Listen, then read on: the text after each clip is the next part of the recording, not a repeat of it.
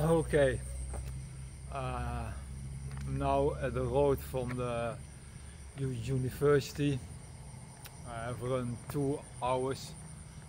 Uh, two hours with uh, I run uh, uh, in the two hours three sets of five times one minute with two minutes uh, uh, easy running. A set pause of 20 minutes. So uh, it don't go so well. I feel a little bit tired, tired in my body and things like that. So going slow.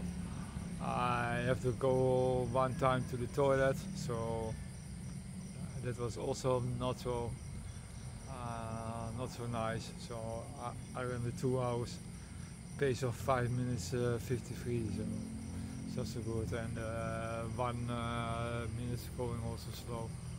I think uh, the, the, slowest going around the 5:30 uh, or something like that.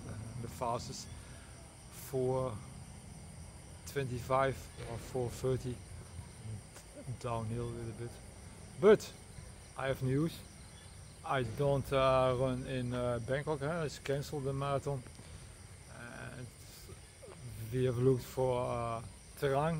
If I can start there, yeah, I can still re register for the uh, marathon from Trang.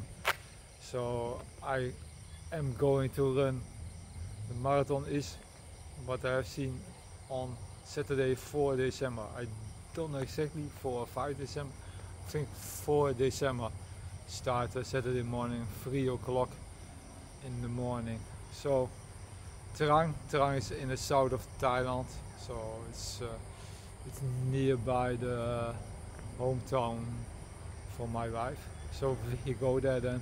We we leave on uh, Wednesday, I think, Wednesday to this uh, one one or two December, and then we uh, arrive on Thursday.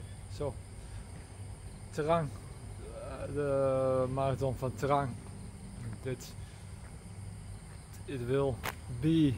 So okay to tomorrow morning I I do my technique coordination training on the gravel in the city. So maybe you hear more from me tomorrow afternoon. That's it for now and bye